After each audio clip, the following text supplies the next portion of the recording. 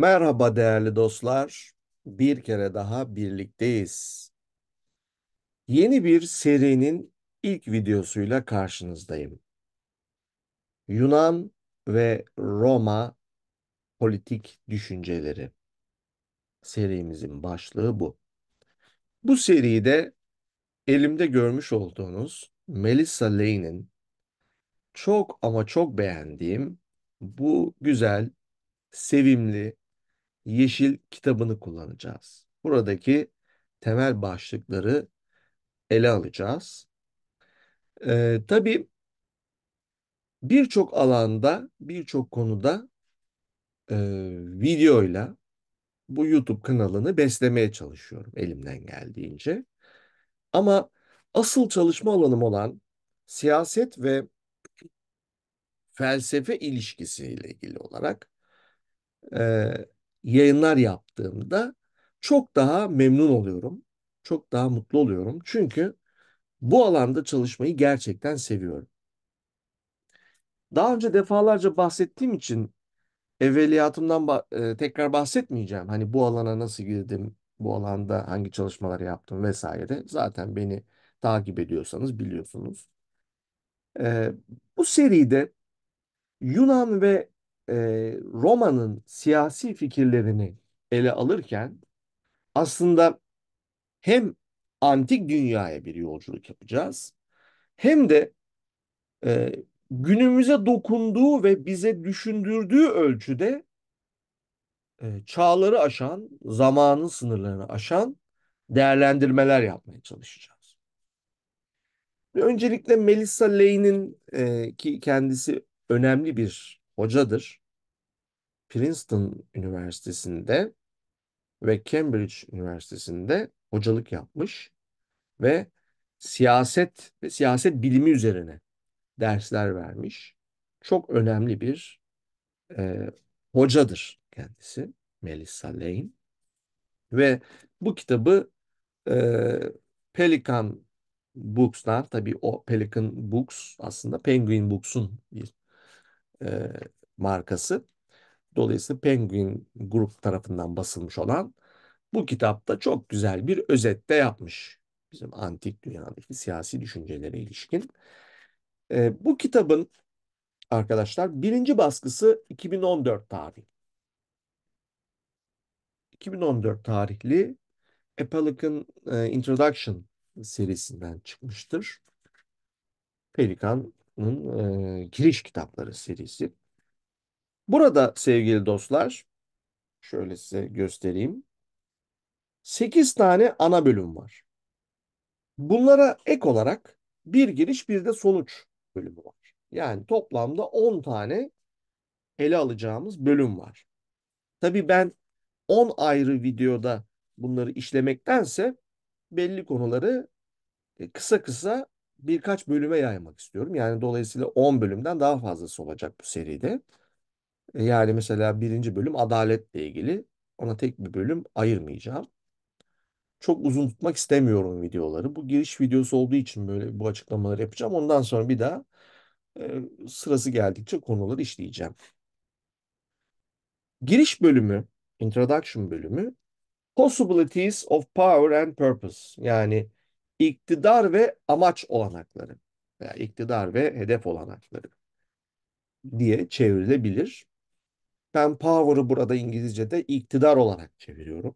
Güç de denilebilir elbette. Bu bölümde bundan bahsedeceğim zaten bu giriş bölümünden. Birinci chapter, birinci bölümde bu girişten sonra adalet konusu işleniyor. İkinci bölümde siyasal yapı, siyasal ve yasal yapı olarak e, constitution latincesiyle constitutio ele alınıyor. Ben bunu genel olarak e, uzun bir çerçevede siyasal ve yasal yapı diyorum. Geri geldiğinde anlatacağız. Üçüncü bölüm demokrasi başlığını taşıyor. Şöyle göstereyim. Dördüncü bölüm erdem başlığını taşıyor. Virtue, latincesiyle virtus. Beşinci bölüm vatandaşlık. Altıncı bölüm kozmopolitanizm. Yedinci bölüm devlet. veya cumhuriyet. Sekizinci bölüm egemenlik ve son bölüm sonuç bölümü olarak Futures of Greek and Roman Pasts yani Yunan ve Roma geçmişlerinin gelecekleri veya geleceği. Türkçeleştirebileceğimiz toplamda giriş ve sonuç bölümüyle 10 tane bölümden oluşan bir kitapla karşı karşıyayız. Tabii çok konuşacağız. Seriyi tamamlamayı düşünüyorum. İnşallah bir aksilik olmazsa. Ee, şimdi Mart 2024'teyiz. Ne zaman biter Allah bilir. Ama e, zamanı aşan, her dönemde izlenebilecek bir seri olacağını tahmin ettiğim için ne zaman başlandığı, ne zaman bittiği çok da önemli değil. İnşallah tabii dünyamız yok olmazsa yani. Yani dünya yok olursa zaten bütün bu videolar anlamsız hale gelecek. Evet, iktidar olanakları, iktidar olanakları ve amaç veya iktidarın ve amacın olanakları bölümüyle yani giriş bölümüyle başlayalım. Öncelikle bu giriş bölümünün ilk cümlesinden bahsetmek istiyorum. Politics is a spectrum of the possibilities of power diyor yazar. Yani politika veya siyaset iktidar olanaklarının bir spektrumudur. Devamında da şöyle diyor. İnsanlar arasındaki ilişkileri ve izledikleri amaçları tanımlar. Şimdi burada spektrum sözcüğü var. Spektrum. Malumunuz spektrum aslında yerine göre görünge, izge, görüntü, birbiriyle ilgili düşünce ve nesneler dizisi. Hatta ışığın prizmadan geçerken yedi renge ayrılmasından meydana gelen renkli şerit gibi farklı e, anlamları olan bir sözcük. Şimdi iktidar olanaklarının bir spektrumu olması ne demektir siyasetin veya politikanın? Şimdi siyaset ve politika aslında birbirinin eş anlamlısıdır. Ama bunları yeri geldikçe açımlayacağız. Şimdi burada öncelikle şunu söylemek lazım. İki tane kavram var. İktidar ve iktidar olanakları. Şimdi burada sevgili dostlar, öncelikle Melissa Lane'in bu ifadesiyle ve devamındaki e, yaklaşımıyla şunu anlamamız gerekiyor. Siyaset geniş bir kapsama sahiptir. Ve sadece bugünü de ve bizleri de bugün yaşayan bizleri de etkileyecek şekilde sadece parti politikaları veya seçimlerle sınırlı olan bir şey değildir siyaset veya politika.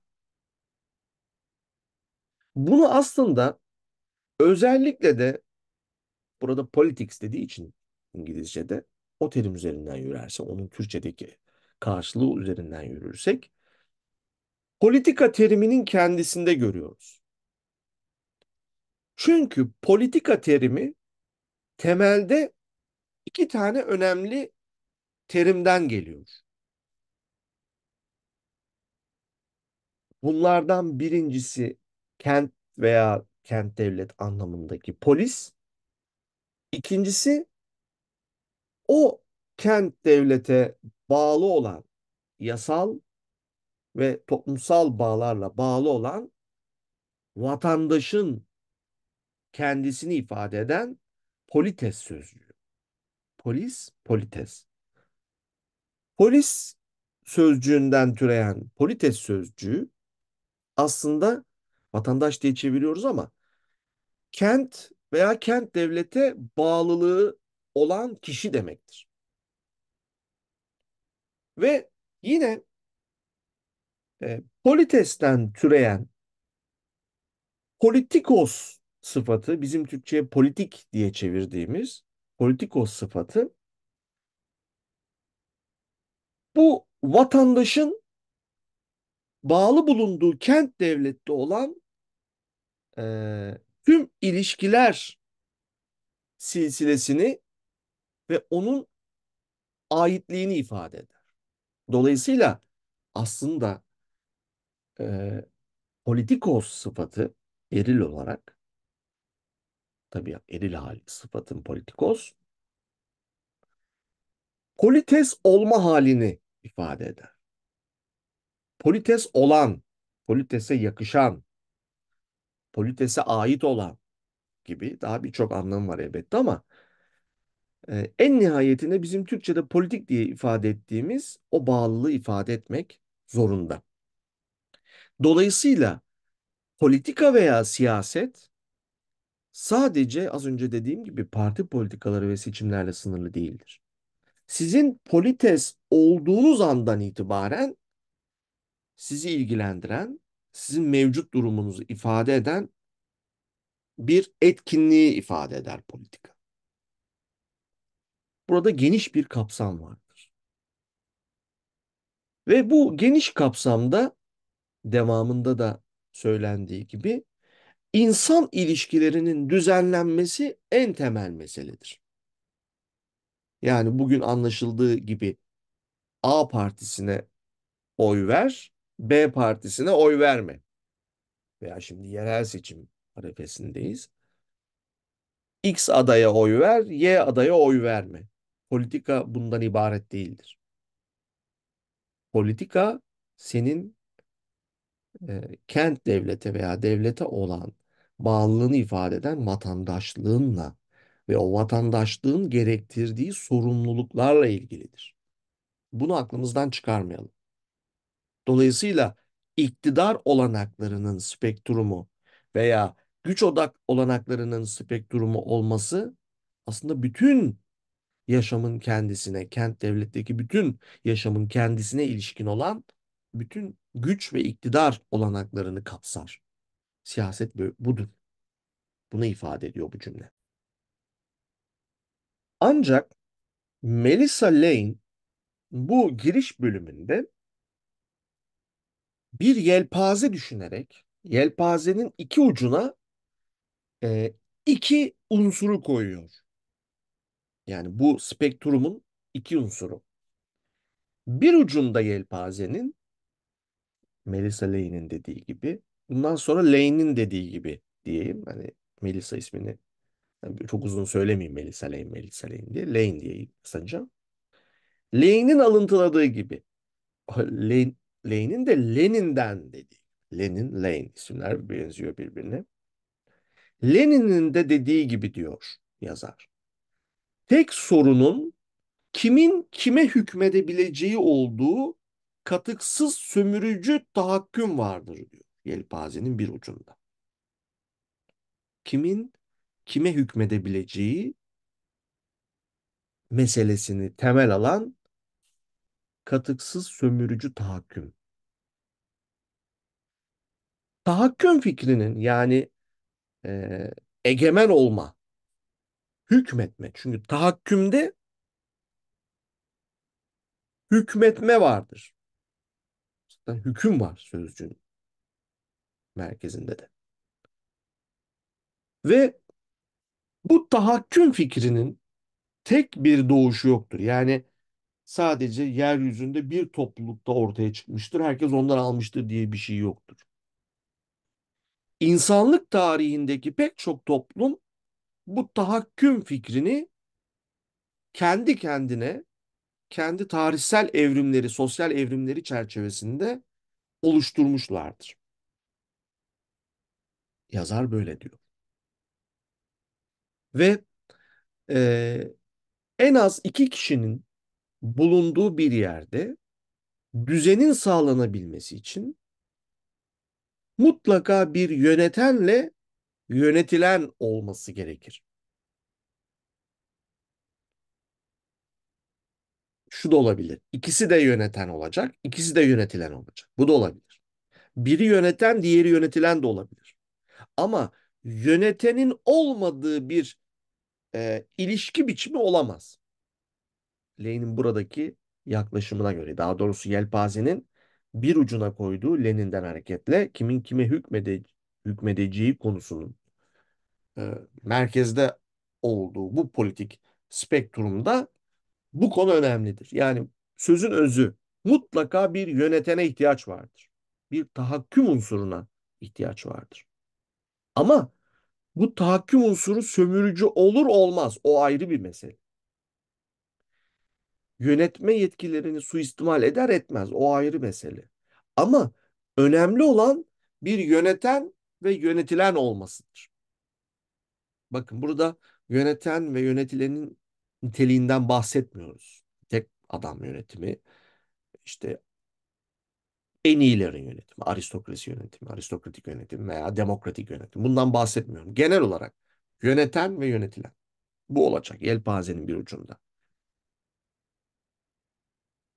Bu politika yelpazesinin veya siyaset yelpazesinin, yelpazesinin diğer ucunda ise çok daha nadir görülen bir ideal vardır. Diyor yazar. Karar verme ve eyleme geçme gücüne sahip özgür ve eşit yurttaşlardan oluşan bir rejim. Şimdi burada az önce dedim ki iki tane kişi var en az. Ve bu iki kişiden biri yönetici, diğeri biri yöneten, diğeri yönetilen. İkisinin de yöneten olduğu, ikisinin de yönetilen olduğu bir düzen de olabilir dedim.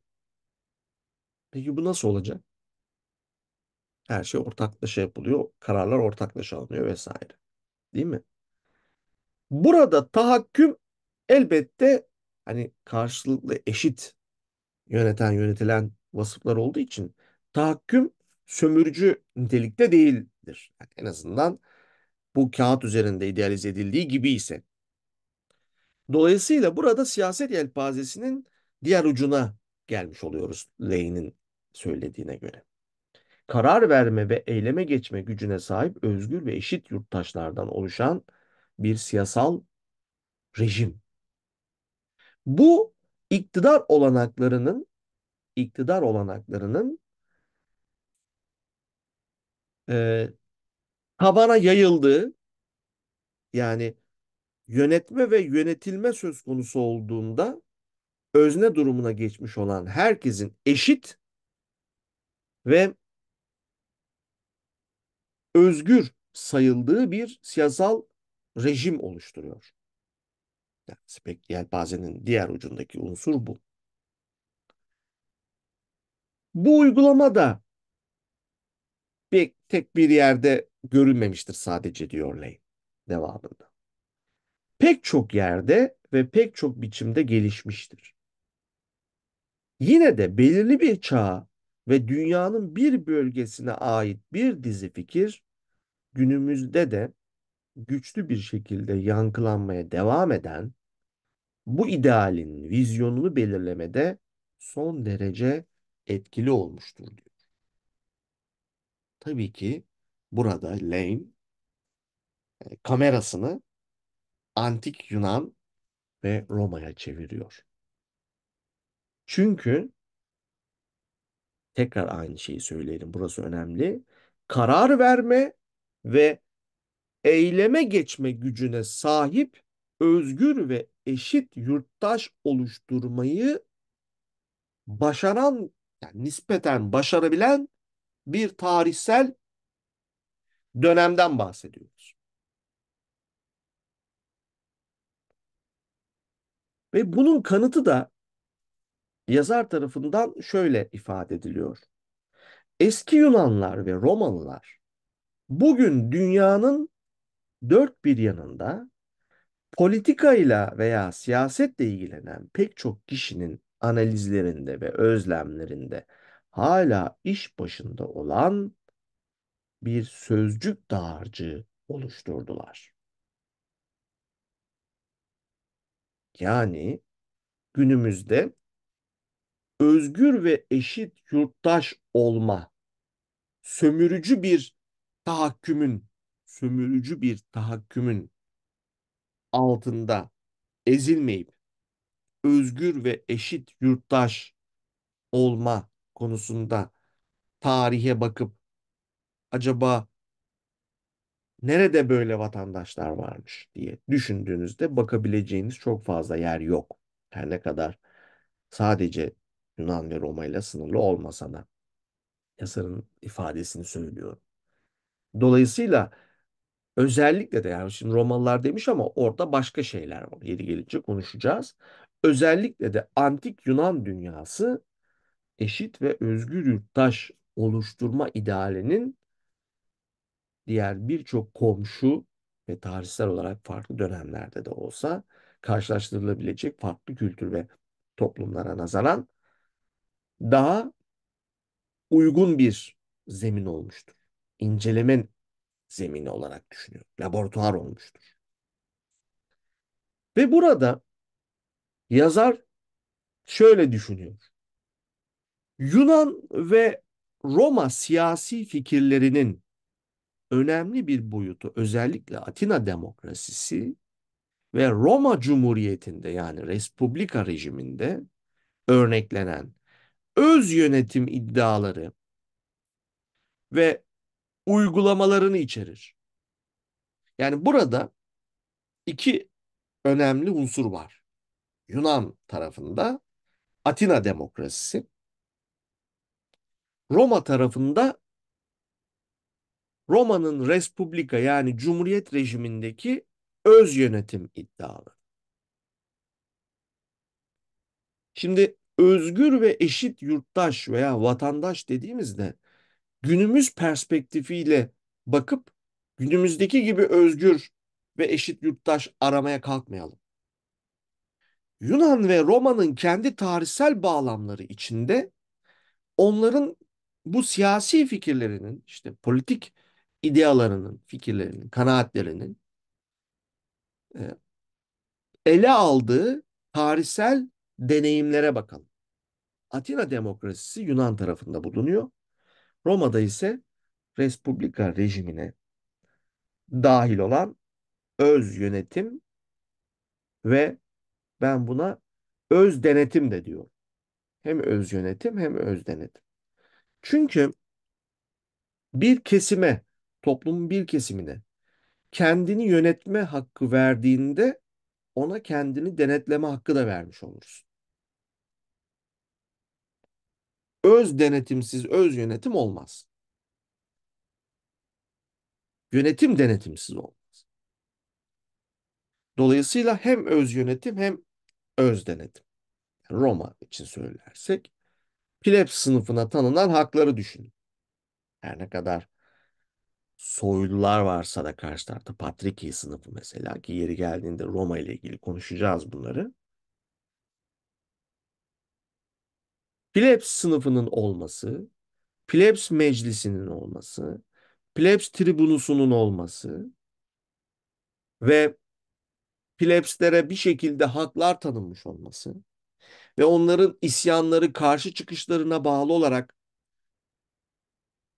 onlara bir takım haklar verilmek zorunda kalınması bile aslında belli bir hak arayışına bağlı olarak öz yönetim ve öz denetimin Respublika rejiminde tanındığını gösteriyor en azından. Bu önemli. Günümüzdeki gibi bir durum söz konusu değil elbette. Tıpkı gelecekteki e, yönetim modellerini değerlendirirken bugünle kıyasla değil mi? Onları ve bugünü yargılayamayacağımız. Şimdi burada önemli bir nokta var. Lane'in e, dikkat çektiği. Antik Yunanların ve Romalıların fikirlerini e, siyasi bağlamda değerlendirebilmek için onları zengin bir kaynak haline getiren şey nedir? Neden Yunan ve e, Romalı yazarları hala siyaset düşüncesi veya siyasal fikirler açısından hala incelenmeye değer buluyoruz? Soru bu. Yazara göre Yunan'daki işte adını koyduğu gibi Atina demokrasisinde ve e, Roma'nın Respublika rejiminde tanınan öz yönetim e, hakları göz önünde bulundurulduğunda hem Yunan literatürü hem Latin literatürü felsefi, edebi ve retorik meydan okumaları da bünyelerinde barındırmıştır. Yani şunu demek istiyor yazar. Gerek Yunan dünyasında, gerek Roma dünyasında felsefi edebi retorik metinler bize mevcut siyasal yönetim şekilleri veyahut fikirleri üzerine eleştiriler içermektedir. Ne demek oluyor bu? Bu şu demek oluyor. Yani bu fikirler olduğu gibi kabul edilmemiş veya mevcut yönetim şekilleri olduğu gibi kabul edilmemiş, çok ciddi bir tenkide maruz kalmıştır felsefi, edebi, edebi ve retorik açıdan. Dolayısıyla kritik edile gelen siyasal fikirleri veya yönetimleri burada ele alıyoruz. Yunan ve Roma o yüzden bizim için iyi bir laboratuvardır. Şimdi devamında şöyle diyor yazar.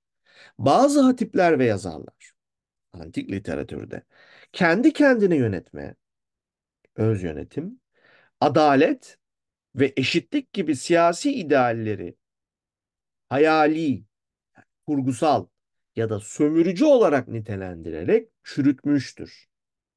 Örneğin demokrasiye getirilen eleştirilerden birisi halkın layık olmadığı haklara baştan sahip olmasıdır.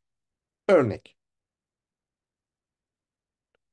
Veya kurayla yönetimin adil olmadığının tartışılması. Ya bununla ilgili birçok örnek verebiliriz ama zaten e, kitabın içindeki bölümler yani ilerleyen aşamalarda e, bu konulara değineceğiz detaylı. Şimdi, şimdi giriş bölümündeyiz. O yüzden çok detaylı girmek istemiyorum. Yazarın perspektifini aktararak üzerine yorum yapmaya çalışıyorum ki hani kitap da böyle layıkıyla derli toplu bir kompozisyon olarak karşımızda dursun.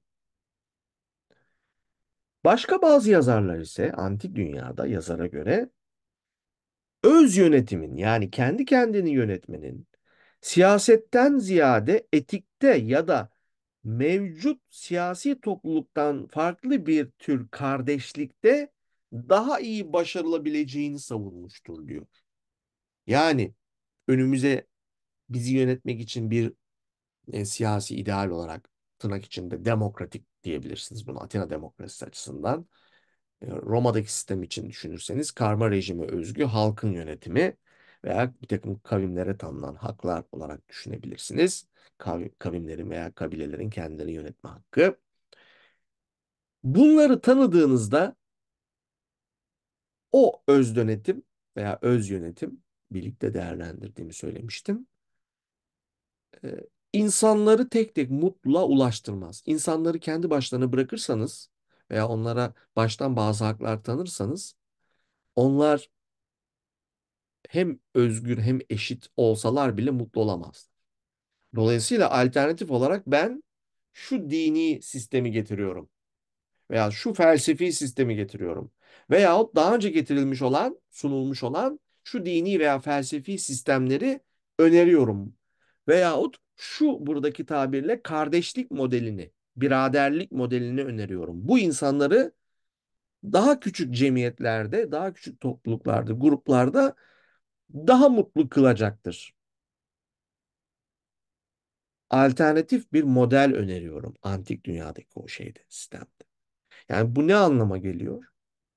Bu e, tepeden aşağıya sunulan öz yönetim haklarının ve oluşturulan sistemin tartışmaya açıldığını ve alternatifinin felsefi veya dinsel açıdan getirildiğini düşündürüyor. Yani ortada yine bir neyle karşılaşıyoruz? Az önce de söylediğimiz gibi mevcut siyasal yönetim veya siyasal fikirlere ek olarak onların tenkit edildiği hatta onların yanlış bulunup çürütülüp alternatifinin sunulduğu bir tartışma iklimi doğuyor. İster felsefi zeminde olsun bu tartışma e, zemini, yani felsefi zeminde yürüsün bu tartışmalar, isterse edebiyat zemininde yürüsün, isterse retorik zemininde yürüsün. Doğrudan forumdaki tartışmalarda da karşımıza gelebilir. Ama en nihayetinde nasıl yönetilebileceğimize ilişkin ve insanların nasıl yönetilmesi gerektiğine ilişkin bir e, tartışma zemininin oluştuğunu görüyoruz.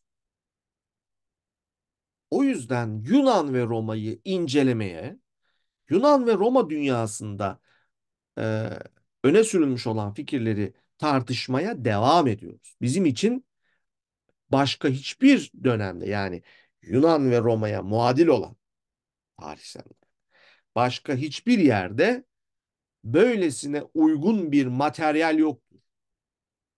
Yazınsal olarak veya sözlü gelenekle birlikte yürüyen, sonraki çağlara aktarılan tartışmalar olarak düşünün. Fark etmez. Hala daha hep söylediğim bir şey vardı benim. Romalılar ne yaptılar, ne ettiler podcast serimde. Ne diyordum? Roma bir laboratuvardır. Siyasal inceleme laboratuvarı. O laboratuvar olma hüviyetini burada Yunan'a da atfediyor yazar. Bu önemli. Genel olarak bir özet yaparsak o zaman e, yazara göre mevcut siyasal rejimler içinde özellikle öz yönetim ve öz denetim fikri öne çıkıyor ama o fikir beraberinde ona yönelmiş eleştirileri de taşıyor literatürde. Dolayısıyla bizler için hala tartışılmaya değer şeyler var Yunan ve Roma dünyasında. Bu durum diyor yazar, sadece bugün siyaseti kutlamak isteyenler için değil, aynı zamanda onu eleştirenler için de bir kaynak oluşturmasını sağlıyor. Yani bu tarz kitaplar, Melissa Ley'nin kendi kitabı gibi olan bu tarz çalışmalar bize sadece e, Fatma Gül Berktay Hoca'nın o meşhur tabiriyle kitabına sirayet eden değil mi? Politikaya çağrı türünden kutlamalar yani politikaya çağrı metinlerini ve o metinlerdeki düşünceleri e, aslında desteklemiyor. Aynı zamanda onu eleştirenler için de bir kaynak haline dönüşüyor bu tarz çalışmalar. Politika niye var? niye olmalı? Veya mevcut mevcut politikalar neden yanlıştır? Neden değiştirilmelidir? Bunlar üzerine kafa yormamız için tarihe baktığımızda, kameramızı tarihe çevirdiğimizde Yunan ve Roma dünyasıyla karşılaşıyoruz. Gördüğümüz budur. En azından Ley'nin dikkat çektiği mesele bu. Tabii bir de olayın şu boyutu var. Terminoloji boyutu. Yani yazarın da dikkat çektiği mesele bu. Politika sözcüğünün kendisi de dahil olmak üzere terimlerin çok büyük bir bölümü Yunan ve Roma dünyasından geliyor. Yani bakın politika, demokrasi, monarşi, aristokrasi, oligarşi, ohlokrasi, tiranlık, despotizm. Başka? Des tabi bunların yan unsurları. Despot, tiran, demokrat, demokratik. Değil mi? Bu terimlerin hepsi Yunan ve Roma dünyasından geliyor. Dolayısıyla dilimiz dünyamızı şekillendirirken kaçınılmaz olarak bu dilin kökenindeki Yunan ve Roma e, dünyasına yeniden kamera açmak zorunda kalıyoruz. Atina demokrasisi dediğimizde hani bağlam tabii ki günümüz demokrasilerinden farklı ama neyin kastedildiğini 3 aşağı 5 yukarı biliyoruz. Halkın yönetimi. Değil mi? Demos'un yani halkın yönetimi. Şimdi gelelim devamında Lane ne diyor? Bakın kendi kitabını anlatırken bize bir perspektifte sunuyor aslında.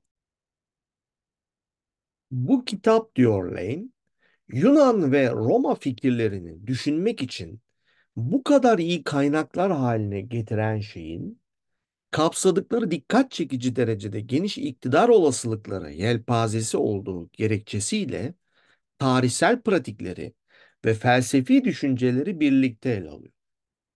Yani burada sadece şu dönemde şu siyasal yönetim vardı, şu rejim öne çıktı, şu rejim geriledi gibi tartışmalar yok. Aynı zamanda onlar üzerine yapılmış değerlendirmeler de yer alıyor.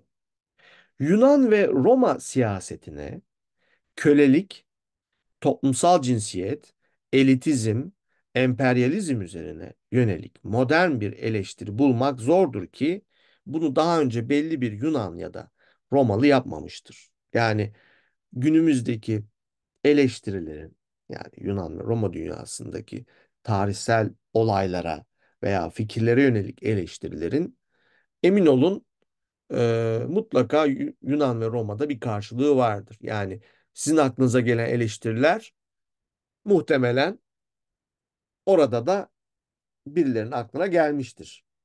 Ve biz onu metinlerden takip edebiliriz. Bunu demek istiyor yazar. Bir siyasi rejimin her cisimleşmesinde onun iddialarını irdeleyen eleştirmenler vardı. Yani antik dünyada demokrasi savunulduğu zaman demokrasiye karşı insanlar da var. Aristokrasi savunulduğu zaman aristokrasi karşıtları da vardı. Aristokrasiye eleştiri getirenler. Monarşi savunulduğu zaman monarşiye karşı olan insanlar da vardı. Bu az önce bahsettiğim gibi felsefi, edebi ve retorik tabi Lane'in ifadesiyle, onun kategorize etmesiyle. Felsefi, edebi, retorik açıdan her siyasal rejim eleştiriye tabi tutulmuştur. Hepsi eleştirileriyle birlikte vardır. Literatüre geçmiştir. Demokrasi ve cumhuriyetin, respublika, yerine göre devlet, yerine göre cumhuriyet. Demokrasi ve cumhuriyetin, bakın bu iki kavram aslında öz yönetim ve öz denetimin merkezi unsurlarıdır. Demokraside halk yönetimi vardır. Cumhuriyette ise yine yönetimin halkta olması ve Cicero'nun tabirinde geçtiği gibi Respublika'nın Respopuli olması söz konusu. Yani Respublika halka ait olan şey Respopuli halkın malıdır. Halka ait olan şey devletse devlet halkın malına dönüşür. Res şey anlamından hareketle mal, mülk vesaire çok anlamı vardır. Hatta devlet anlamı da vardır.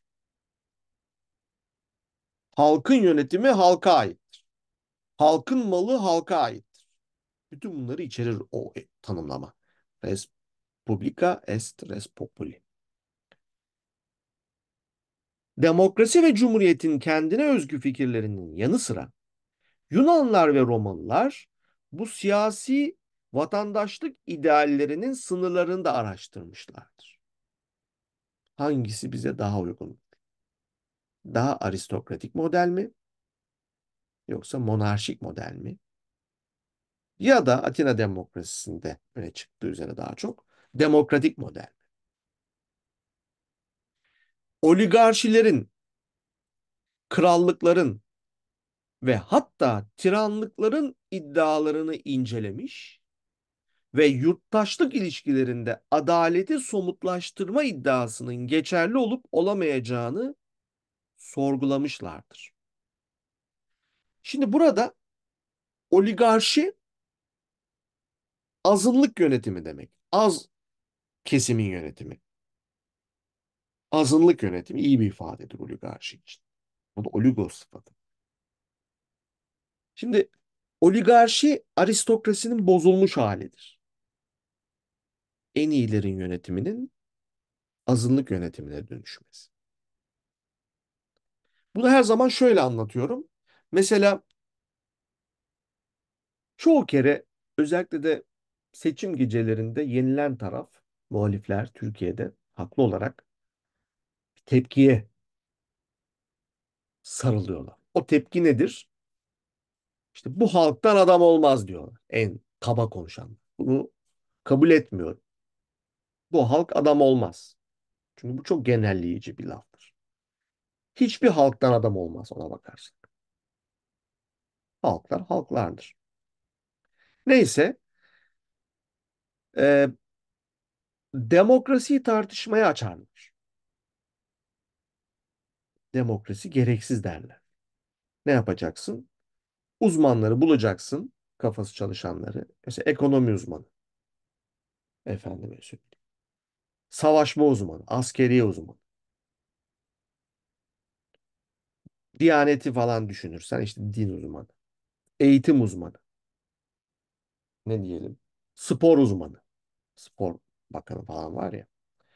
Her her e, alana o konunun uzmanını koyacaksın. Yani her alan yani Yunancasıyla her tehneye. Her tehneye sanat, ilim, sanat vesaire çok anlamı vardır. Her tehneye onun uzmanını getireceksin. Ama bunun adı o zaman demokrasi olmaz. Zaten demokrasi karşıtı bu eleştiri, eleştiriyi getirenler değil mi? Bu teknokrasidir. Yani sen bir teknokratlar hükümeti istiyorsun aslında. Sadece uzmanlar yönetsin. Halk yönetime karışmasın. Ama varsayalım ki birinci nesil teknokratlar çok iyi. Birinci nesil. Her konunun uzmanını buldun. Sporda en uzman kişiyi getirdin. Maliyede en uzman kişiyi getirdin maliyenin başına. Eğitimde en uzman kişiyi getirdin. İkinci neslin yani onlardan sonraki yöneticilerin de en az onlar kadar iyi olmasını nasıl sağlayacaksın? Üçüncü neslin, dördüncü neslin, beşinci neslin. Başta en iyilerin yönetimi olan teknokrasi üzerinden ifade edersek, teknokratlar en iyi kişilerdir. Konunun en iyi uzmanları. Zaman içinde en iyilerden azınlığa geçiş, azınlık yönetimine doğru geçişe, geçişe bir e, yol açacaktır bu durum. Çünkü kalite düşecektir her defasında. Zaten hem Platon hem Aristoteles hem daha sonra bu tarihçi Polübios ve sonra da Kikero'da karşımıza çıkan siyasal rejimler döngüsünde olan budur. İlk başta bilgelerin yönetimi yani monarşiden sonra kanaat önderi, bilge olan kişiler azınlık yönetimi olarak ülkeyi idare ederlerken veya kenti idare ederlerken onların çocukları veya onlardan sonra gelenler o kadar onlar kadar iyi değillerdir. Dolayısıyla aristokrasi oligarşiye dönüşür.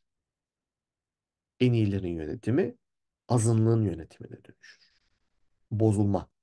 Bozulma siyasal rejimler döngüsünde mukadderdir. Dolayısıyla burada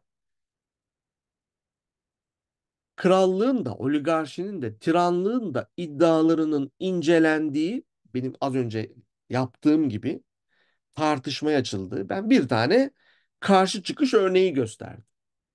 Azınlığın oligarşiye dönüşümünde. Bunların tenkitleriyle birlikte, eleştirileriyle birlikte sunulması aslında e, en iyi yönetimin ve en iyi e, şöyle söyleyeyim insanın en iyi nasıl mutlu olacağına ilişkin fikirlerin araştırılmasının canlı olmasını sağlıyor. Bu araştırmanın kendisi canlı kalıyor bu sayede. Demokrasi iyidir, kimse tartışmasın dediğin anda tartışma olmaz.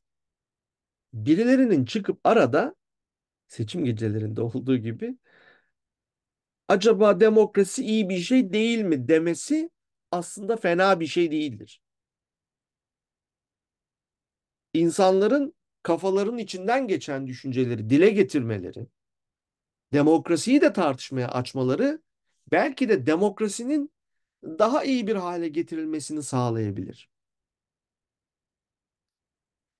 Toplumda ve bireylerde sorun var ki bireylere bu kadar söz hakkı verilmesinin, bireylere oy hakkı verilmesinin yani her bireye, vatandaş olan her bireye oy hakkı verilmesinin sorunlu bir şey olduğu da tartışma konusu oluyor.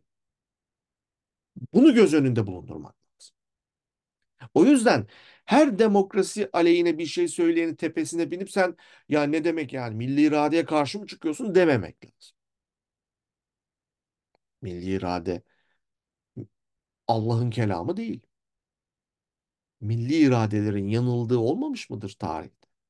Birçok örneği var. Örnek vermeye gerek yok. Çok fazla da örneklerle konudan sapmak istemiyorum. Ama önemli olan benim düşündüğüm şey ve benim önemsediğim şey siyasal tartışmaların, siyasal yönetimlere ve fikirlere ilişkin tartışmaların sürekli hale gelmesidir. Önemli olan budur. Bir toplum bu tartışma ikliminden uzaklaşmışsa sorun başlar. Mesele demokrasiyi tartışmaya açmak değildir. Mesele tartışmanın kendisini ortadan kaldırmak. Burada bir yazarın ifadelerinden hareketle bir tutamaç buluyorum. Yakalama noktası buluyorum. Bir kulp buluyorum. Kulp takmıyorum. Kulp buluyorum. Benim yakaladığım konu bu. Yani Yunan ve Roma dünyası tartışmayı yani tekrar tekrar söylüyorum. Siyasal yönetimlere ve siyasal fikirlere ilişkin tartışmaları canlı kıldığı ölçüde bizim için incelenmeye değer bir e, laboratuvar alanıdır. O yüzden hala Yunan ve Roma'ya bakıyoruz. Siyasal yönetim ve fikirlere ilişkin tartışmanın olmadığı kültürlere bakmak bize siyasal açıdan bugünün dünyasına veya yarının dünyasına çok fazla şey kazandırmayacaktır. Astığım astık, kestiğim kestik. Tanrı kral kültünün olduğu, insanın olmadığı yer, insanın mala dönüştüğü yerler, tarihte böyle örnekler bulabilirsiniz. Tanrı kral kültü diye yazın Google'a. O toplumlara bakın. İnsanın ne anlamı var? Ne değeri var? Buradan nereye geliyoruz? İnsanın değerli kılınması. İnsanın değerli kılınması ve değerli olması. Yunan ve Roma dünyası nispeten, burada nispeten sözcüğünü ekliyorum. Nispeten komşu veya tarihsel olarak uzak diyarlara ve kültürlere nazaran nispeten insanın değerli olduğu dünyalardır. Çünkü onlara öz yönetim ve öz denetim hakkını verirken onların isyanlarını, karşı çıkışlarını da nispeten ciddiye alan siyasal rejimler ve siyasal fikirler doğurmuştur. Bu bahsettiğim tartışma ikliminin sürebilmesi için buna ihtiyaç vardır. O yüzden tartışma devam etmelidir. Yani show must go on gibi. Tartışma must go on. Bu böyle. Ama Türkiye'de özellikle ya bu iyi değil. Hükümetin bu şekilde belirlenmesi. Bu seçim sistemi veya işte efendime söyleyeyim yöneticinin şu hareketleri, şu tavırları iyi değil diyenlerin tepesine ama milli irade böyle diyor diye üzerlerine çöreklenildiğinde işte bu tartışma iklimini ortadan kaldırırsınız. Milli iradenin ne dediği önemlidir ama tartışmadan uzak değildir ve tartışmadan muaf tutulamaz. Eleştiriden muaf tutulamaz. Çünkü Allah'ın kelamı değildir. İnanıyorsanız Allah'ın kelamı tartışmasız kabul edilir. Öyle değil mi? İnanmıyorsanız hani bu bir bunu bir analoji olarak, benzetme olarak alın. Ve metnin devamında Lane şöyle diyor. Yunanların ve Romalıların siyaset yelpazesindeki tek bir konumla sınırlamaktansa örneğin ya halkın kendi kendini yönetmesine gururla bağlı ya da bunun felsefi eleştirmenleri olarak onların ürettiği fikirlerin tamamını inceleyerek daha çok şey öğrenebiliriz. Yani sadece ve sadece şöyle dersek diyor yazar, bu bir sorundur. Daha doğrusu eksik bir yaklaşım. Atina demokrasisi, demokrasi var Atina'da. Demokrasi de iyi bir şey veya Roma'da Respublika, Cumhuriyet rejimi vardı. Cumhuriyet iyi bir şey. Bunları inceleyelim sadece. Demokrasi ve Cumhuriyet. Öz yönetime odaklı bir inceleme yapalım. Böyle dersek bu bir sorun veya eksikliktir. Bunun yerine bunun yerine onların ürettiği fikirlerin hepsini göz önünde bulundurmamız lazım. Yani Atina demokrasisinin içinde demokrasi karşıtı görüşleri de değerlendirmek önemlidir. Respublika, Roma'nın Respublika yani Cumhuriyet aslında karma rejim ama her defasında o acıyı çekerek söylüyorum. Cumhuriyet ifadesini kullanırken acı çekiyorum. Günümüzde yanlış anlaşılmaya müsait olduğu için ama yeri gelince zaten inceleyeceğiz onu. E, o yüzden çok da detaya girmek istemiyorum. Respublika'ya karşı görüş bildirip egemenliği yani mutlak egemenliği savunan, örneğin Kayzarcılığı savunan veya daha sonra daha yeni Romalılar ne yaptılar, ne ettiler podcast serimizde incelediğim Octavianus Kaiser Augustus'un reislik, önderlik yönetimini, Principatus yönetimini savunanlara örneğin Respublika rejimi yıkılmaya yüz tuttuğunda Augustus olmadan önce Octavianus Kaiser tek adam haline geldiğinde Roma'daki bundan sonraki süreçte daha Yunan tipi bir demokrasiye mi yönelmeliyiz yoksa tek adam yönetimine mi? Daha hızlı karar alınabilmesi için tek adam yönetimine doğru mu evrilmeliyiz şeklinde bir tartışma olmuştur. Ve tarihçiler bu tartışmayı değerlendirirken şuna odaklanmışlardır. Cassius Dio'da vardır bu tartışma mesela tarihçi. Bu tartışmada bir taraf kazandı. Yani tek adam yönetimi, Principatus rejimi e, yönünde ağır bastı Octavianus Kaiser'ın kafasındaki o ideal yönetim şablonu. Oraya doğru gidildi. Ama aksi yani kaybeden görüş daha Yunan tipi bir demokrasiyle artık Roma yönetilsin önerisi önemsiz değildir. Bugün hala incelenmeye değerdir. En azından bize şunu gösterir. Kaybeden bir düşünceden bahsediyor. Bakın önerilen ve kaybeden düşünce, kabul edilmeyen düşünce. Niye önemli? Uzun yıllar süren iç savaş deneyiminde, iç ve dış savaş tabii ama orada kritik mesele iç savaştır daha çok. Çünkü gücün ve iktidarın nerede toplanacağı meselesi vardır. Nasıl toplanacağı meselesi vardır.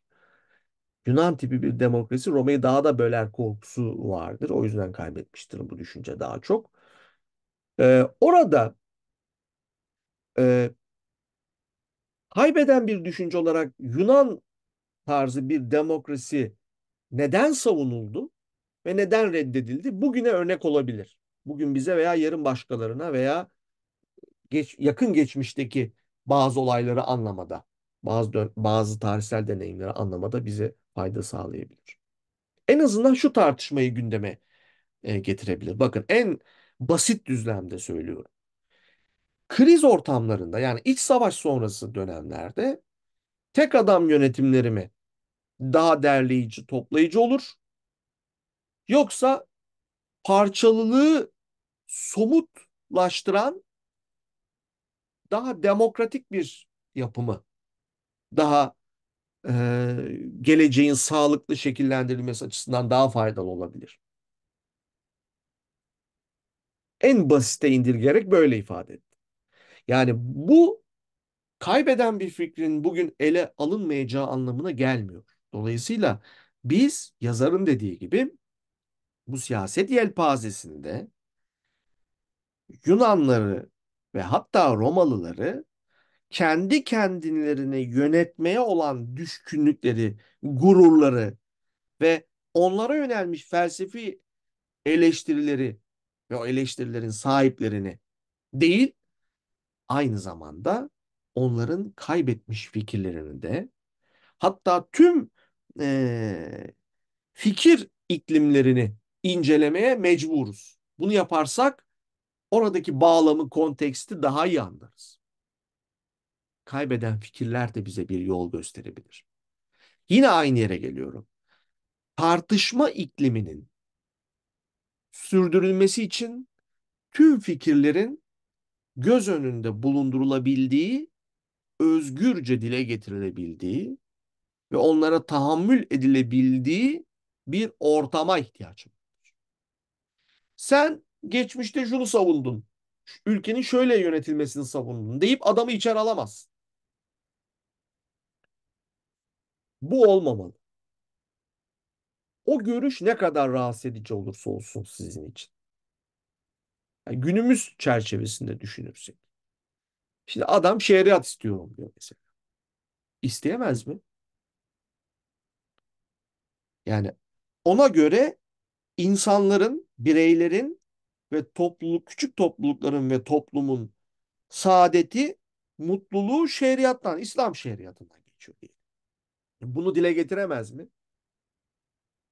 Sen tepesine binersen, hayır bunu söyleyemezsin dersen, tartışma iklimine zarar verirsin. Onun o fikrinin çürütülme imkanını da ortadan kaldırırsın.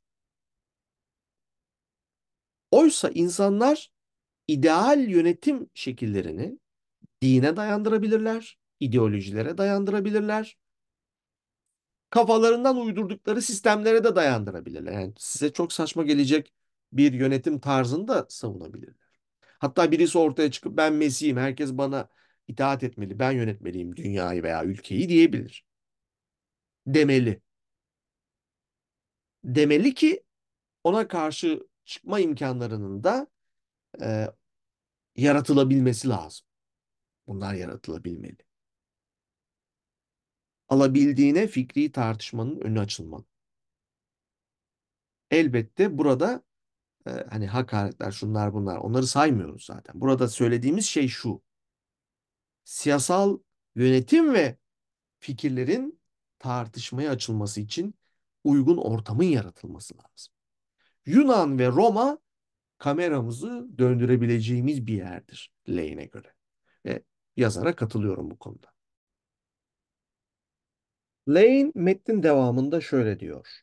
Eleştirmenlerin saflarına ve dışarıdakilerin durumuna yanıt vermek, siyasetin değeri ve sınırları hakkında kendimiz için düşünmek için bu etkili klasik fikirlerin gelişimini anlamamız gerekir.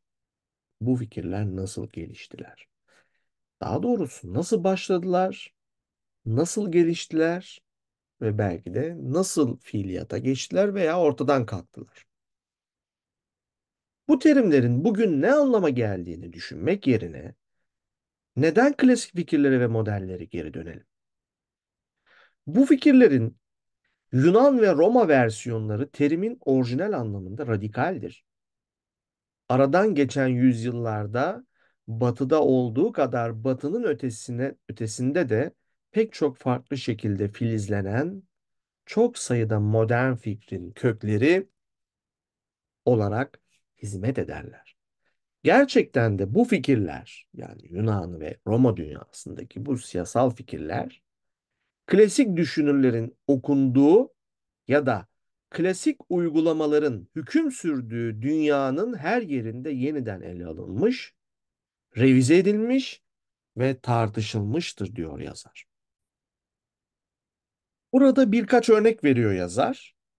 Marsilya'dan Afganistan'daki Ali Hanum'a, Aristoteles'in bir öğrencisinin bir mezar anıtına ünlü Yunan özdeyişlerini yazdığı yer. Ali Hanum'a. Tunus'tan Tarsus'a, Bizans'ta ve Osmanlı fetihleri arasında ve tabii fatihleri arasında. Ve ayrıca Yunan ve Roma fikirlerinin fetih ve kolonizasyon yoluyla getirildiği hem yönetenler hem de yönetilenler tarafından benimsendiği dünyanın diğer bölgelerinde. Afrika ve Asya'nın yanı sıra Latin Amerika'da tartışılmıştır. Kökler kendilerinden çıkan bitkilerle görünürde çok az benzerlik taşır. Çok güzel bir laf. Demokrasinin kökü Atina'da diyelim. Günümüz demokrasileri Atina'daki demokrasiye benzemiyor. Günümüz demokrasileri o köklerden çıkan bitkiler gibidir. Ortaya çıkan bitki köküne benzemiyor. Bazen Yunanların ve Romalıların modern halklardan çok farklı oldukları ve günümüz anlayışına çok fazla katkı sağlamadıkları düşünülür diyor yazar. Belki de bizim için fazla iyi oldukları için pek işe yaramıyorlar. Bu açıdan bakıldığında bazen modern çıkarcı meslektaşlarımızla meslek, meslektaşlarımızla kıyasla kamusal ruhlu vatandaşlar olarak kutlanıyorlar. Yani şöyle deniyor diyor. Onlar Yunan-Roma dünyasında daha kamusal sorumluluklarını bilen vatandaşlardı. Günümüz vatandaşları böyle değil. Günümüz vatandaşları sorumluluklarının farkında değil. Dolayısıyla Yunan-Roma dünyasındaki vatandaşların tabi olduğu siyasal sistem veya fikirlerin günümüzde vatandaşlar için geçerli olması mümkün değildir diyenler olabilir demeye getiriyor. Ya da belki de artık onlar için geçerli olamayacak kadar akıllı veya şanslı olduğumuz içindir ki bizim artık onların siyasal sistemlerine veya düşüncelerine ihtiyacımız olmayabilir diyor yazar. Bu alternatif bakış açısında yani bizim bugünün insanları olarak Yunan ve Roma dünyasındaki insanlardan daha akıllı ve daha şanslı olmamız böyle bir bakış açısıyla olaya bakarsak kapitalizm bağlamında liberal ve temsili demokrasi eski modelleri yalnızca sınırlı bir kullanıma sahip kılan oyunun kurallarını değiştiren bir yenilik olarak görülmektedir. Artık oyunun kuralları değişmiştir. Atina demokrasisine de Atina demokrasisine getirilen eleştirilere de ihtiyacımız yoktur. Çünkü az önce de söylendiği gibi daha akıllı ve daha şanslı bireyleriz artık. Onlar bizim kadar akıllı ve şanslı değillerdi. Bu da ikinci bakış açısı. Bu iki bakış açısı da yani on, yani kabaca özetlersek Yunan-Roma dünyasındaki vatandaşları bizden üstün görme veya aşağı görme bakış açısı. İkisi de onlarla ilgili siyasal tartışmaların bugüne getirilmesini anlamsız kılar. İki bakış açısından da aynı yere varıyoruz aslında. Burada Lane bizi aydınlanma dönemine götürüyor tam bu noktada.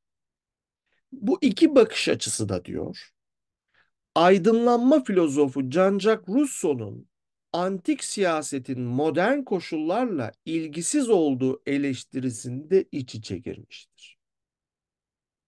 Bu eleştiri aynı anda hem nostaljik bir tonda hem de tavizsiz bir imada bulunmayı başarmaktadır. Rousseau sevgili dostlar 1764'te doğuştan vatandaşı olduğu Cenevre'nin vatandaşlarına bir cumhuriyetin vatandaşları olarak kendilerini klasik zamanların halklarıyla gurur verici bir şekilde kıyaslamamaları gerektiği konusunda bir uyarıda bulunmuştu. Yani Yunan dünyasındaki polites ile oradaki vatandaş ile. Şu an beni dinlemekte olan herhangi bir Türkiye Cumhuriyeti vatandaşı aynı mı?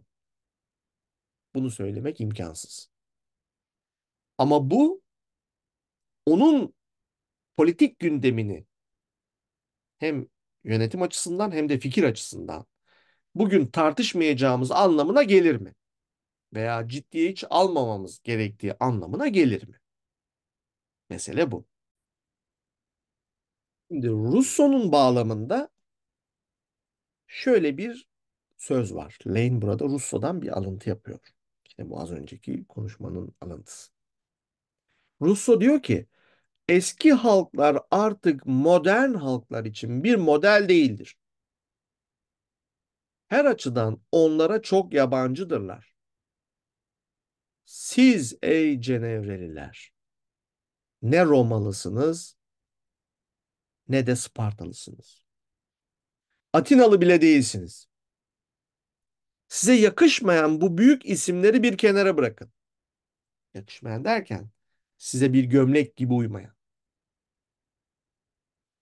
Bu dünyada en kötü şey gömlek uyumsuzluğu bence. Geri gelmişken söyleyeyim. Erkek de bizi izleyen genç erkeklere bunu söyleyeyim. Bu tarz uyarılar bazen hayat kurtarır. Yani mesela ben hatırlıyorum lise e, pardon ne lisesi ortaokuldaydım. Bir kız öğrenci bana dedi ki okula kazakla gelmiştim. Kazak tek başına erkeği çirkin gösterir demişti. Tabii nereden öğrenmiş kız bunu? Yani modaya o zaman da düşkünmüş herhalde. Kızlar daha iyi biliyor bu işi. Erkek kazak giydiği zaman içine bir de gömlek giymeli. Gömleğin yakasını böyle kazağın üzerinden çıkarmalı demişti. Bu mesela benim aklıma hiç çıkmadı. Ne zaman kazak giysem içinde mutlaka gömlek olmalı diye düşünürüm. O yüzden mesela dar gömlek giyen erkek gördüğüm zaman dünyanın en çirkin görüntülerinden biridir. Yani böyle adamın göbeği böyle görün şey oluyor. Mümkün değil ya. Çok çirkin bir görüntü. İşte burada da Russo diyor ki size uymayan gömleği giymeyin. Size yakışmayan bu büyük isimleri bir kenara bırakın. O gömleği çıkarın. Sizler her zaman özel çıkarlarıyla, işleriyle, ticaretleriyle, kazançlarıyla meşgul olan tüccarlar, zanaatkarlar, burjuvalarsınız. Özgürlüğün bile kendileri için sadece engelsiz bir şekilde elde etmek ve güven içinde sahip olmak için bir araç olduğu insanlarsınız diyor. Russo'ya göre buradaki karşıtlığın temel siyasi anlamı şudur arkadaşlar. Russo'nun bağlamında. Eski halklar gibi aylak olmadığınız için onlar gibi durmaksızın siyasal yönetimle meşgul olamazsınız. Başka bir deyişle Russo Yunan ve Roma vatandaşlarının aylak olmalarını sağlayan köleler ve savaş ganimetleri olmadan kendilerine özgü siyasi katılımlarının imkansız olduğunu ima etmektedir. Artık sizin köleleriniz yok. Savaş ganimeti hiç yok. Böyle Yunanlar gibi, Romalılar gibi siyasal yönetim üzerine kafa yormanıza da gerek yok. Onlar gibi kafa yormanıza gerek yok. Siz yolunuzda ilerleyin. Söylediği bu. Size uygun olan gömleği giyin. O halde antik literatürden öğrenecek çok az şey vardır ya da hiçbir şey yoktur. Buradaki yaklaşıma göre. Ancak diyor Lane, aslında Rousseau'nun imasının aksine çaba ve boş zaman tahsisi hem klasik hem de modern toplumların yaptığı tamamen ekonomik güçler tarafından belirlenmeyen siyasi bir tahsistir. Kölelik sömürüye dayalı servete el koymanın acımasız ve önemli bir biçimiydi. Ancak Yunan ya da Roma toplumlarında belirli uzmanlaşmış sektörler dışında servet birikiminin temel ya da baskın biçimi değildi. Tersine kendilerini siyasete adamayan pek çok benzer toplumda köleler vardı. O zaman benzer toplumlarda köleler varsa o toplumlarda neden benzer şekilde siyasi fikirler tartışma konusu olmadı? Lane'in sorduğu budur. Bu arada modern toplumlar eğer isterlerse daha fazla insanın siyasete zaman ayırmasını sağlamak için kullanılabilecek birikmiş zenginlik, enerji ve kapasite kaynaklarına, diğerlerinin yanı sıra iş bölümü, işte hayvansal olmayan enerji kaynakları ve yeni medya yoluyla sahiptir. Dolayısıyla biz de aslında mesela bugün daha fazla siyaset konuşabilmek için tabii siyaset konuşmak derken de şunu ısrarlı bir şekilde söylüyorum. Yani A partisine değil B partisine oy ver. Bu değil siyaset konuşmak. Siyaset konuşmak nasıl yönetilmemiz gerektiğine ilişkin kafa yormaktan başlar ve ideal olan veya olmayan yönetimleri tartışmaya açmak anlamına gelir. Lütfen ama lütfen siyaset tartışmayı veya politika tartışmayı sadece ama sadece e, seçimlerle veya mevcut siyasal partilerle ilişkilendirmeyin. Temel meselenin insanların nasıl yönetileceği, nasıl yönetilmesi gerektiği, nasıl yönetilmemesi gerektiği ve hangi yönetimlerin ve hangi yönetimlerin insanlara yüklediği, yükleyeceği sorumlulukların eee, nasıl değerlendirilmesi gerektiği üzerine kafa yoralım. Ve vatandaşlık sorumlulukları, vatandaşlık sorumluluklarını, bu sorumlulukların eee, bazen fazla bir yüke mi dönüşüp dönüşmediğini veyahut çok hafif mi kaldığını, vatandaşların hiçbir yükümlülüğünün olmadığını mı? Bütün bu meseleleri tartışmaya açmak aslında siyaset tartışmak anlamına geliyor. Çünkü yasal olarak vatandaşlık bağıyla bağlı olduğumuz e, ülkenin politesi olduğumuz için o Yunan tabir kullanırsak Lane'in başta söylediği gibi terminoloji aslında oradan geliyor. O politese bağlı olduğumuz için özür dilerim o polise bağlı olduğumuz için bir politessiz yani bir vatandaşız.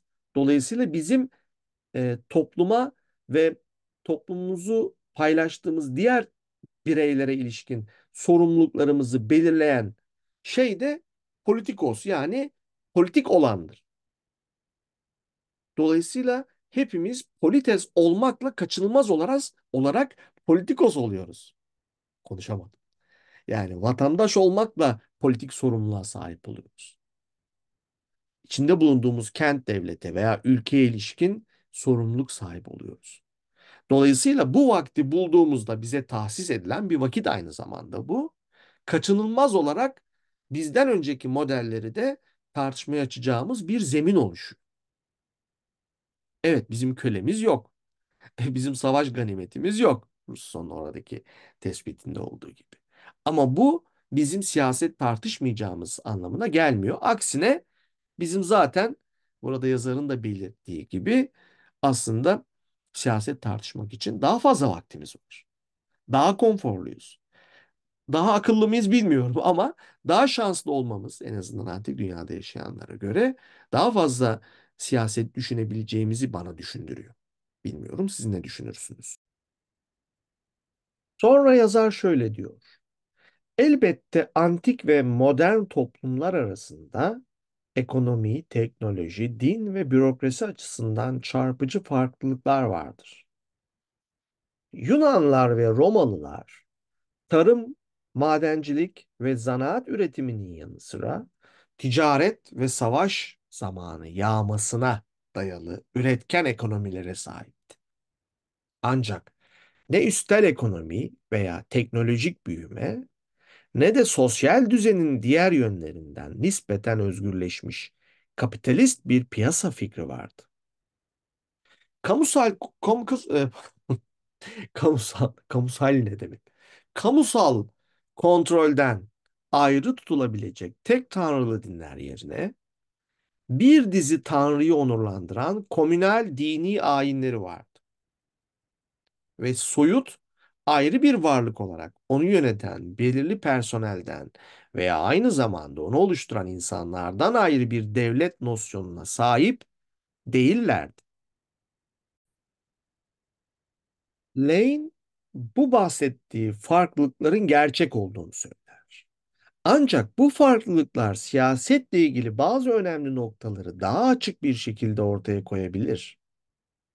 Kapsamlı bir şekilde bürokratikleşmiş ve uzmanlaşmış bir devlet aygıtı olmaksızın Yunanlar ve Romalılar siyaseti temelde siyasi topluluktakiler arasındaki ilişkiler ve tam üyelik olmaksızın bu topluluğun sınırları içinde ya da dışında olanlarla ilişkiler olarak düşünmüşlerdir. Bu da aslında benim başından beri söylediğim şey. Yani burada Lane'le aynı şeyi söylüyoruz. Yunan ve Romalılara göre siyaset temelde oluşturulan siyasi topluluktaki bireyler arasındaki ilişkiler ve bu sınırların dışında kalan kişilerle olan ikincil ilişkileri kapsar. Yani aslında siyaset en nihayetinde insan ilişkilerini düzenleme sanatı olarak da görülebilir.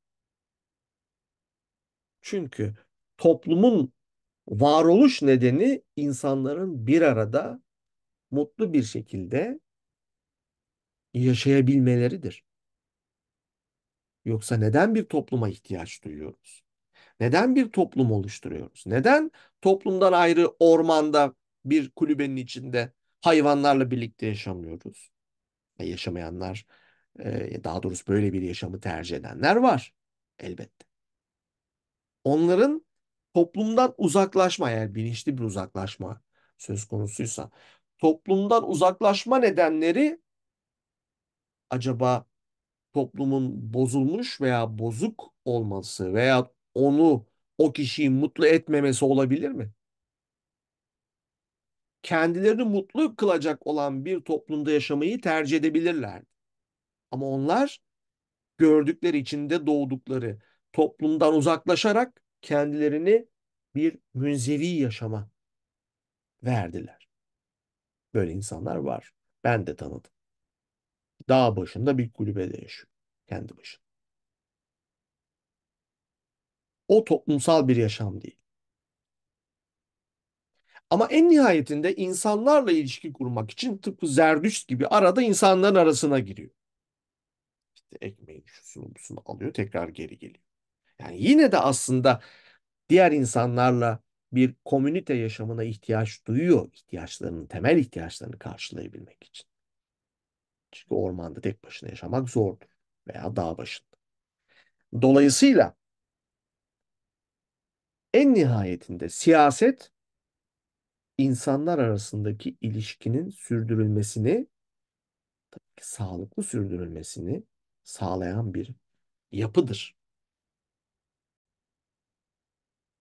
Aslında bu nedenle diyor Lane, bazen onların genel toplum kaygılarından farklı bir şey olarak özel bir siyaset fikrine sahip olmadıkları bile söylenir.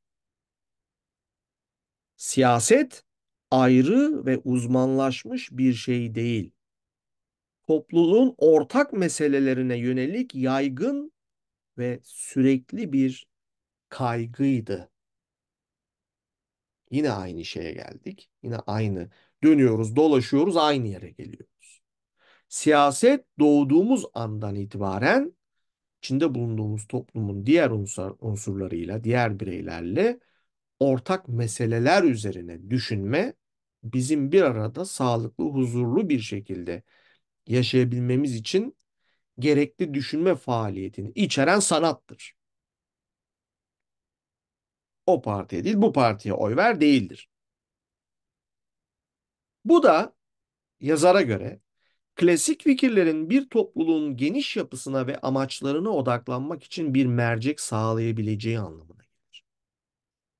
Bu da modernitede siyasi aygıtın pek çok uzmanlaşmış yönü tarafından çok sık gizlenen bir şeydir.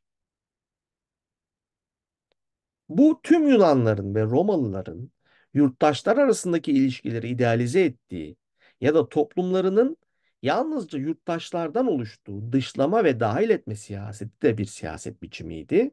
Elbette bunun anlamına bu anlama gelmez.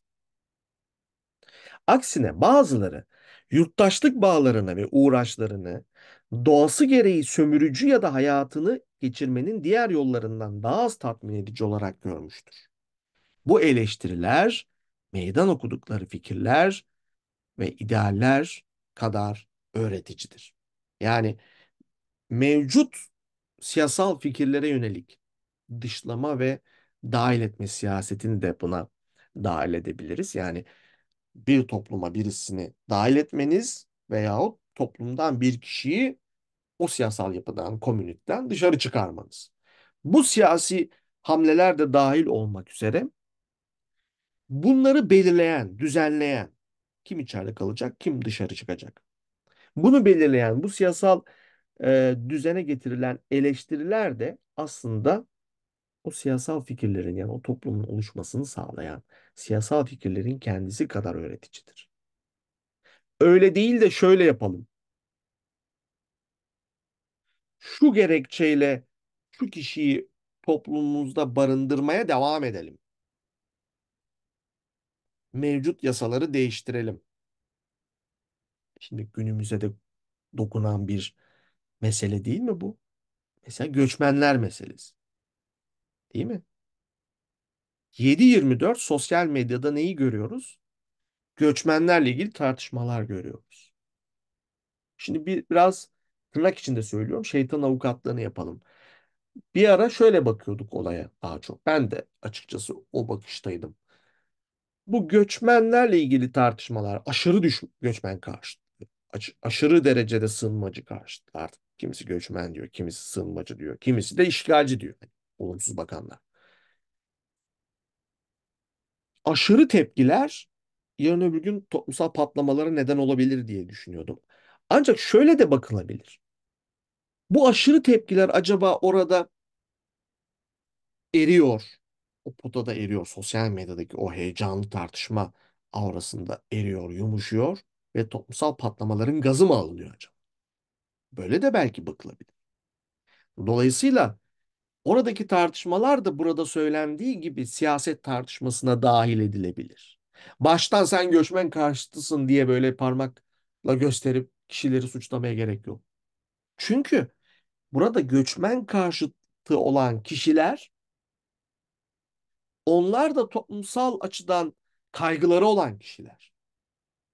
Siz onlara söz söyleme, onları söz söyleme hürriyetinden mahrum bıraktığınızda, onların konuşmalarını engellediğinizde, baştan onların kafasına sopayla vurduğunuzda onların kaygıları ortadan kalkmıyor. Dolayısıyla burada tarafların görüşlerini özgürce savunabilecekleri bir ortamın yaratılması lazım. Yani hiçbir şekilde hiçbir şekilde e, susturma sopasını göstermemek lazım. Evet, o göçmen karşıtlığından hiç tasvip etmeyeceğimiz ileri derecede bir faşizm türeyebilir. Bu risk var. Ama toplumsal kaygıları olan kendisiyle, ailesiyle, sevdikleriyle, ülkenin gidişatı ile ilgili kaygısı olan ve hiç de faşist veya ırkçı diyemeyeceğimiz, hatta xenofobik yabancı düşmanı olarak bile değerlendiremeyeceğimiz insanların kaygılarını kafalarına sopa, sopayla vurarak, susturarak onları. Aman ha, söylediklerin ırkçılığa varabilir. Yabancı düşmanlığına varabilir. Diyerek onları susturarak o kaygıları ortadan kaldıramayız. Sağlıklı bir tartışma zemini de oluşturamayız. Aksine bu karşı tarafın daha da konsolide olmasını ve daha radikal fikirlere doğru kaymalarına neden. Bunu sağlar. Faşizm gelmesin diye faşizmi getirebilirsin kafalara sopayla vurarak. İnsanların reaksiyonları daha sert bir şeye dönüşebilir. O yüzden olabildiğince tabii ki bunun sınırı yok. Yani burada ben bir sınır koyamam. Şu, şu, şu görüşler tartışılmalı. Bundan sonrası tehlikeli olabilir falan. Bunu ben yapamam. Kimse yapamaz. Ama olabildiğince fikir özgürlüğünü muştulayan, savunan insanlar olmak zorundayız.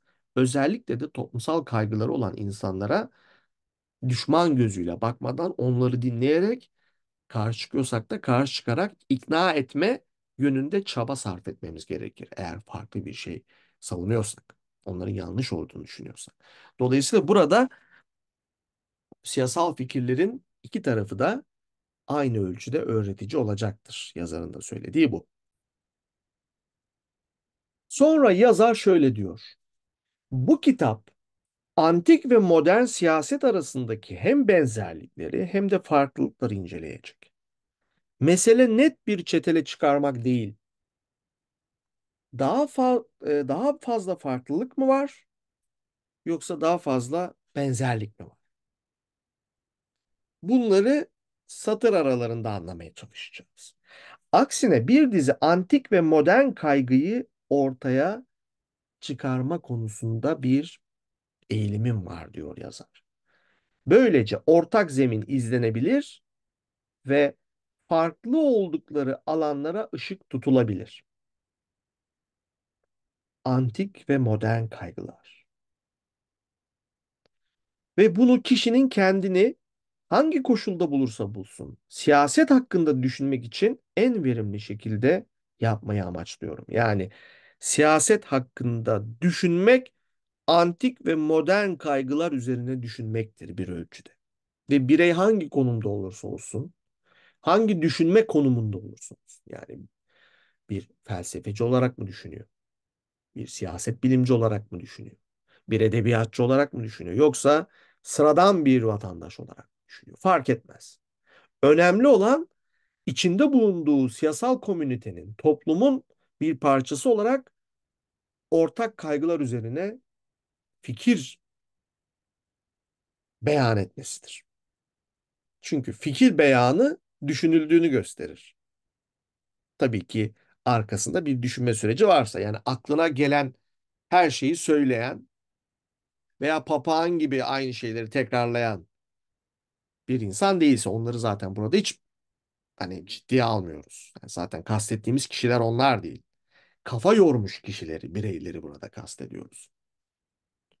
Yazar diyor ki, kadim fikirler hem etimolojik anlamda kök teşkil etme hem de derin meydan okumalar sunma anlamında radikal olabilir. Örneğin, internet ve sosyal medya günümüzde siyasetin tıpkı Atina'da olduğu gibi retorik tarafından domine edildiğinin farkına varılmasını sağlıyor demiş. Ben bunu ilk okuduğumda ne güzel bir cümle. Keşke ben kursaydım demiştim. Bu tarz bir tavrım var. Bir şey okuduğum zaman ya keşke bunu ben söyleseydim diyorum. Veya bir çeviride bir şey bir cümle görüyorum. Aa, bunu keşke ben çevirseydim. Ne güzel bir cümle. Bazen oluyor böyle şeyler. Şimdi günümüz sosyal medyası da aslında bir agoradır. Bir forumdur. Ve retoriğin ziyadesiyle ön planda olduğu bir yerdir.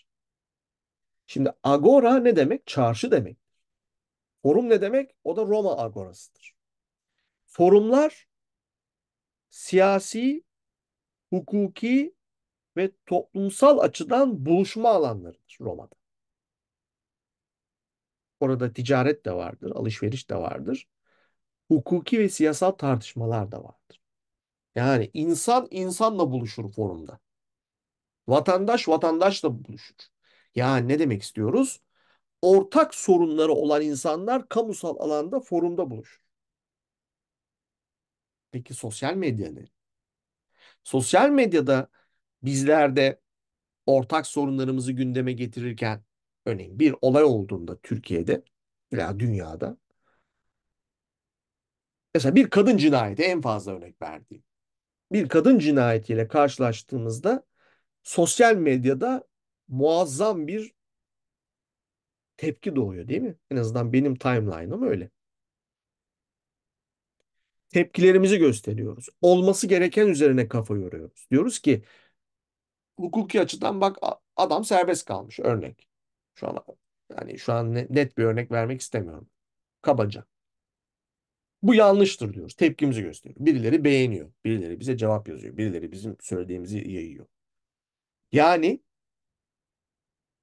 ortak kaygılarımıza ilişkin fikirlerimizi beyan etmemek. Ama aynı zamanda retoriğin de öne çıktığı bir yer. Tıpkı forumda olduğu gibi. Agora'da olduğu. Meclislerde, halk meclislerinde gibi. Kim daha ikna edici konuşursa o haklı sayılır. Kendini ve kellesini kurtarır hatta davasını haklı çıkarır. Böyle bir yer. Sosyal medya da böyle. Davanı haklı kılabilmen için doğru bir retorikle savunabilmen lazım. Orası böyle bir yerdir. Ama retorik esasın önüne geçtiğinde sofistik başlar. Sofistike cümleler veyahut popülist söylemler esasın önüne geçebilir. Maalesef sosyal medya son dönemde büyük ölçüde böyle bir yerdir. Gerçekliğe karşı savaş. Hep hep alıntılıyor. Beni yakından takip eden dostlarımız bilir. Pomerantsevi'nin kitabı var. Burada da bir yayın yapmıştık. Gerçeğe karşı savaş. Sosyal medya böyle bir yere dönüşmüştür. Aleni video görüntüsü olan futbol maçı mesela bu konuda çok dertliyim. Yani o insanları görünce midem bulanıyor. Daha bir tweet attım bugün. Böyle insanları görünce şaşırmıyorum. Demokritosçu bir tavırdır o. Çünkü Demokritos da şaşırılmaması gerektiğini söylüyor. Verdiği tepki gülmektir Demokritos'un. Herakleitos'un ağlamaktır. Şaşırmıyorum ama midem bulanıyor. Bunu kaçınılmaz bir şey. Aleni haksızlığı savunan insan. Haksızlıkla da olsa kazanalım diyen insan. Bunu futbolda çok göreceğiz. Haksızlıkla da olsa kazanalım. Ve benim futbolcum haksızlık yaptığında onu savunurum diyen insanlar var.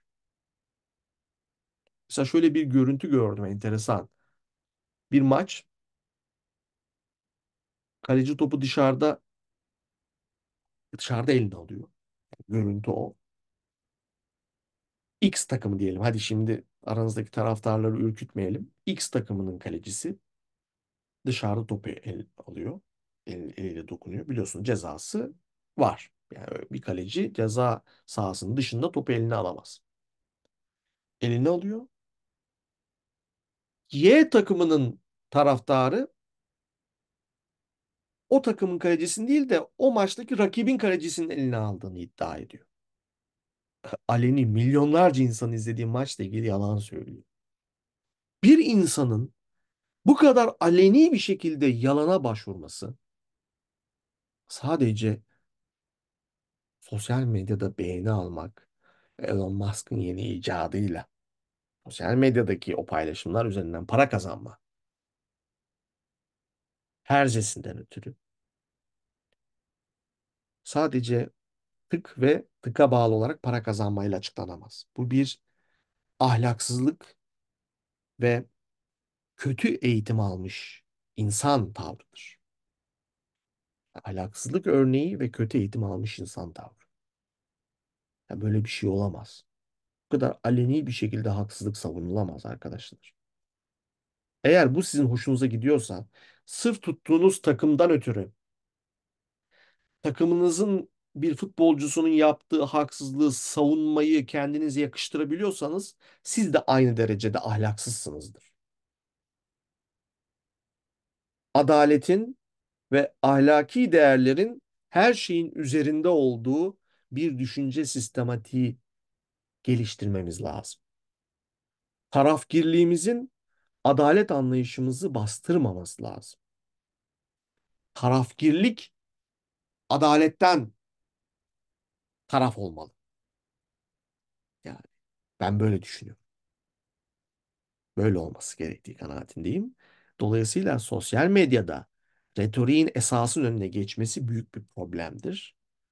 Ve burada yine de her şeye rağmen az önce söylediğime de bağlı olarak fikir özgürlüğünün elbette savunulması lazım. Ama sosyal medya bize zaten istemediğimiz kişileri yani böyle hakaretamiz ifadeler veya doğrudan hakaret içerikli ifadeler kullanan kişileri engelleme imkanını veriyor veya sessize alma.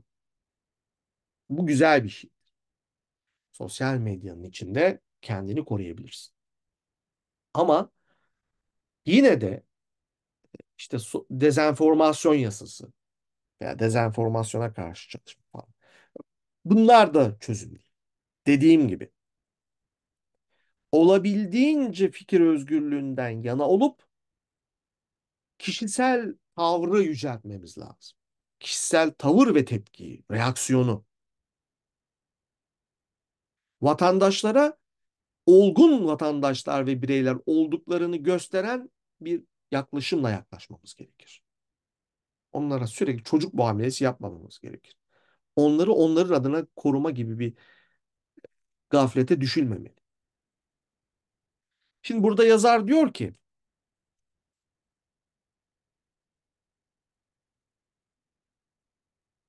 Atinalıların sahip olduğu sosyal bilgiyi üretmek için sürekli yeni mekanizmalar arıyoruz. Kanaatkar blogosfer, Platon ve Aristoteles'in sorularını, toplumsal bilginin yeterli olup olmadığı ve siyasetin bilimsel uzmanlığı nasıl dikkate alabileceği bir kez daha gündeme getiriyor.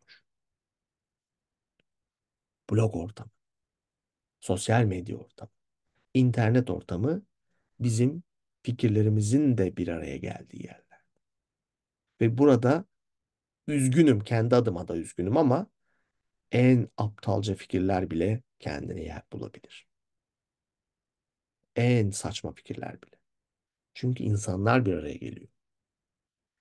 Bu arada artan ekonomik eşitsizlik ve sosyal hareketsizlik diyor yazar, antik çağda sürekli karşılaşılan bir zorluğu yeni bir güçle gündeme getiriyor. Zengin ve yoksulların siyasi eşitler olarak hareket etmeleri nasıl ve hangi koşullarda sağlanabilir? Sosyal medyada herkes eşitleniyor değil mi? Zengin, fakir fark etmiyor. Herkes orada yazı yazma hakkına sahip. Mesela. Bir örnek. Klasik fikirleri modern yankıları da göz önünde bulundurarak incelemek amacıyla bugün siyasi düşünmek için hayati önem taşıyan ve Yunan ve Roma kökenli her zaman tam Yunanca veya Latince çevirileri olmasa da 8 fikir seçtim diyor yazar. Günümüzü hiç düşünmeden sadece Yunan ve Roma fikirlerinin tarihsel bağlamları içinde temsil etmekle ilgilenen daha kapsamlı bir antiki antikite çalışanı muhtemelen şaşırtıcı derecede farklı adaylar seçebilirdi. Mesela çok tanrıcılık gibi ya da patronaj sistemi gibi. Aynı şekilde sadece çağdaş siyaset tarafından yönlendirilen modern bir filozof da şüphesiz farklı bir seçim yapabilir. Örneğin hakları ya da meşruiyeti de ayrı bir bölümde inceleyebilirdi diyor. Ama ben 8 bölüm seçtim diyor yazar. Benim yol gösterici ilkem diyor Lane, antik düşüncenin temel yönlerini aydınlatmak için kullanılabilecek ve aynı zamanda çağdaş düşüncelere bilgi verebilecek fikirleri seçmek oldu. Milattan önce 6. yüzyılın sonlarından milattan sonra 2. yüzyılın sonlarına kadar 700 yıl boyunca antik Yunan ve Roma'daki siyasi düşünce ve uygulamaların temel yönlerine genel bir bakış sunmakta ve özellikle milattan önce 5. yüzyıldan 1. yüzyıla kadar olan klasik dönemlere odaklanacağım diyor. Ve her bölüm bir fikir etrafında şekillenmektedir. Bunu az önce daha doğrusu yayının başında söylemiştim. Adalet, siyasal yapı, anayasal yapı da diyebilirsiniz buna. Demokrasi, erdem, vatandaşlık, kozmopolitanizm, cumhuriyet, egemenlik ve sonuç olarak Yunan ve Roma geçmişlerinin geleceği. Bölümler bunlar. Evet sevgili dostlar, Yunan ve Roma siyasi fikirleri e, serimizin birinci bölümünün sonuna gelmiş olduk. Melissa Lane'in kitabını inceliyoruz. Tabii e, bu yayının ve bundan sonraki yayınların tarihlerini önceden kestirmek zor. Çünkü çok fazla işim var. Çok fazla yapmam gereken şey var. Dolayısıyla haftada bir, iki haftada bir şeklinde değil de vakit buldukça bu seriye ekleme yapacağım. Ee, ama siz bu kitabı bir şekilde edinip bir sonraki bölümü okuyabilir ve e, benim bu yayında ele aldığım konuları yine bu videonun altındaki veya bundan sonraki videoların altındaki yorum bölümüne yorum olarak ekleyebilirsiniz. Kendi düşüncelerinizi, eleştirilerinizi benimle paylaşabilirsiniz arkadaşlar. Evet, izlediğiniz için teşekkür ederim. Eğer beğendiyseniz lütfen beğenme tuşuna basarsanız sevinirim. Kendinize iyi bakın. Bir sonraki bölümde görüşmek üzere.